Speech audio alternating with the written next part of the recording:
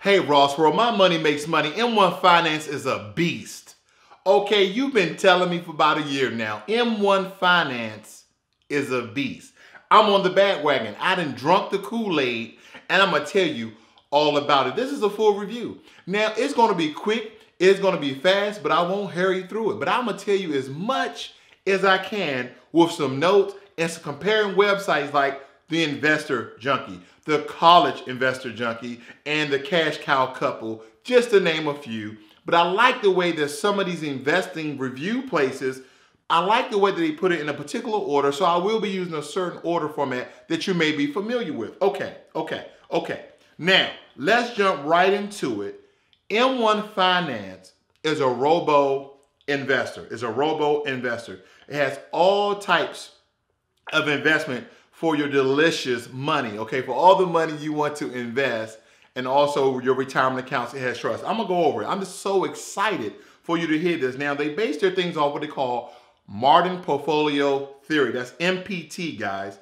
Don't forget, this is a robo-advisor with some advanced algorithms. I'm not gonna bore you with all the little stuff, but one of the main things I need to point out right here, right now, it's free. Is every single thing inside of M1 Finance free? No but a lot of it is. So here we go. Minimum investment, zero. Fees are none. Here are the accounts that they have. Now, taxable means your individual account. That's the account that you're actually trying to have for growth. A joint account, a Roth IRA, traditional IRA, rollover IRA, the SEP IRA, that's your self-employed, okay? And then your trust. 401k, Assistance? No. So moving right along.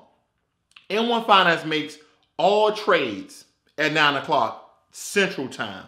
Too easy. Now, when it comes to dividends, they reinvest your dividends once your dividends has reached $10. They automatically reinvest inside the account that you have. When it comes to tax reporting, they use H&R Block along with TurboTax, which they are integrated in. This is absolutely phenomenal. When you're talking about accounts, guys, when you're talking about accounts, they have free consultation. You call them up and they will walk you around their platform absolutely free. Here's another kicker. M1 Finance has nearly 2,000 ETFs. That is those exchange traded funds that I'm always talking about. If you don't know what an ETF is, basically it's a bunch of stocks in a fund that they hold that are really solid, not like a mutual fund. A mutual fund, they're always changing the stocks around for you to get the best return, but they have high fees and it's actively managed where ETFs and index funds are passively managed. Look that up. Here we go, account protection. Under the SIPC, I've gave you the definition, the acronym, I gave you all this information before. It covers up to a half a million dollar, including a quarter million in cash. Now, here's another great thing. The investment categories, okay? The investment categories. I'm gonna run right through this. General investing is a diverse portfolio based on your own risk tolerance. You set the risk, it's all on you. Plan for retirement, invest for your target retirement, okay? Responsible investing, options for the social responsible investor, okay? Income earners, all right, that moolah, that cheese, builds a portfolio based on dividends and income returns. Hedge fund followers, okay? Hedge fund followers mimics investment strategies from some of the most successful investors and reputable hedge funds, okay? That's sort of insurance for your stocks. These masterminds who's making all this money even when the market is going to crack. Industrials and sectors enables you to invest in specific sectors. You gotta love it. Just stocks and bonds one of my favorite. I'm heavy on the stocks at 90 and I'm 10 on the bonds. Builds a diverse portfolio with two ETFs focused on stocks and bonds. They have all these different allocations, you know, 90, 10, 80, 20, and 70, 30, and so on and so forth. Your own risk tolerance once again. Then other strategies, additional investment strategies to help you find what works best for you. Now they have all these pies and stuff, but I'm gonna get right into the app and go over some things very, very quickly so you can be excited as I am. So now that I'm on the app, I have to explain something that's very simple but can be complicated for some. But nevertheless, they have these options where you can do your own pie and you fill your pie with different ETFs. Like I said, nearly 2,000 of these. So some people can choose the pie to be 70 to 30, which account for 50% of a custom pie. What does that mean? You're mixing and matching how you want things to be. So this is one of the downsides before I really get dig deep into the app and go over all this other information, but I'm gonna do it very quickly so you don't lose interest.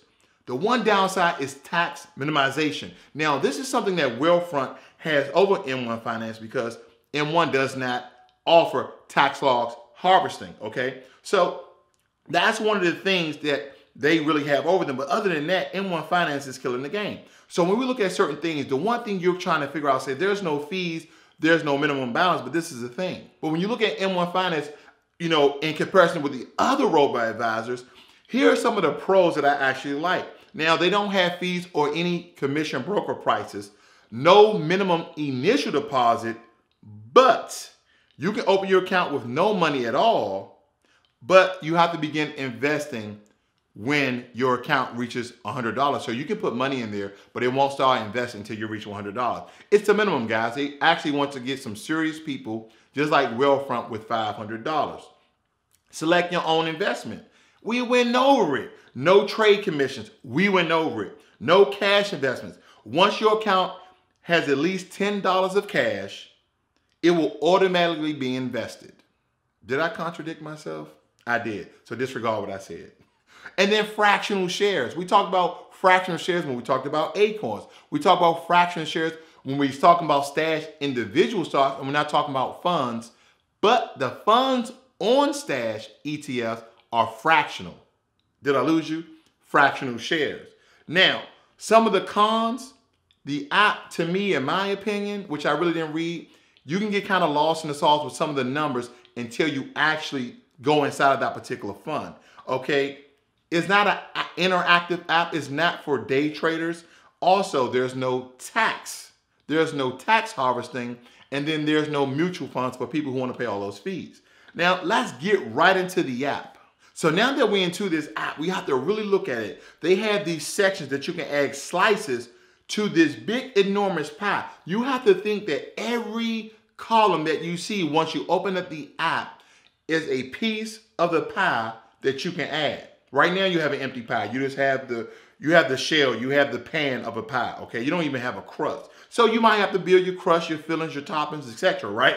So stocks, it has a whole list of stocks like Apple, Amazon, Alphabet, which is Google, Microsoft, Alibaba, Facebook, JP Morgan, Johnson & Johnson, Visa, Berkshire Hathaway, Walmart, Wells Fargo, Intel, AT&T, Chevron, United Health, Cisco Systems, Pfizer, Home Depot, MasterCard, just to name a few. Then the next column has a slew of funds like the SP DNR S&P 500 video that I'm gonna come out with to teach you guys about SPDR shares, those index ETFs. Okay. Then iShares that the BlackRock Corporation actually produces. Then the almost famous Vanguard stocks. Those are these funds, and then you have your power shares just to name a few. I have all sorts of ETFs and index funds.